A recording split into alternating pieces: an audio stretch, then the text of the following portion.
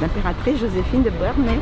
Joséphine, la femme de Napoléon. Joséphine, parce que c'est elle qui est à l'origine donc bonjour, de la, du château de la Malmaison. C'est elle qui est à l'origine du projet, qui a acheté des terres, qui a fait construire son château et surtout la petite serre chaude qui est un endroit très très très très joli à Rueil. Lynn Renaud je dirais Henriette Rose Abissommer, par exemple, qui a fait preuve de courage euh, durant la Seconde Guerre mondiale, en prêtant sa résidence, par exemple, euh, pour les blessés. Huguette Sitt. Huguette Sitt, c'est une femme qui a marqué à la fois l'histoire de la ville de Rueil-Malmaison, mais également l'histoire de France, puisque Huguette Sitt est, devenue euh, l'une des premières conseillères municipales de France après l'obtention du droit de vote des femmes. Gabrielle Colonna Romano. Gabrielle est une actrice célèbre. Elle devient infirmière pendant la Seconde Guerre mondiale.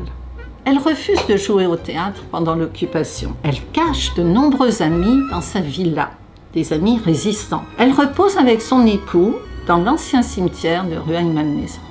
Donc c'est une personne qui a non seulement apporté beaucoup à la culture, mais qui a été une excellente résistante pendant cette guerre.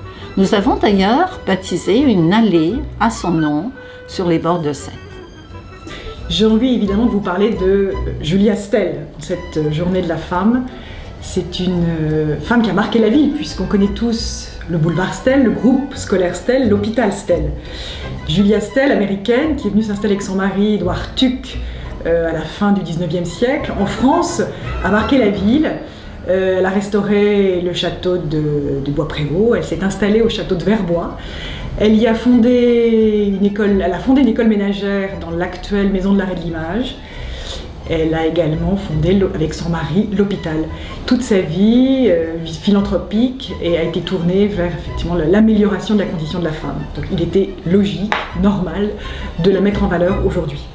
Madeleine Salzberg, euh, qui a apporté euh, du bien-être en créant euh, un foyer spécifique pour les personnes qui souffraient d'un handicap et toute sa vie elle l'a dédié à se préoccuper de ce qualité de vie et de bien-être des personnes euh, ayant euh, cette, cette, difficulté dans la vie.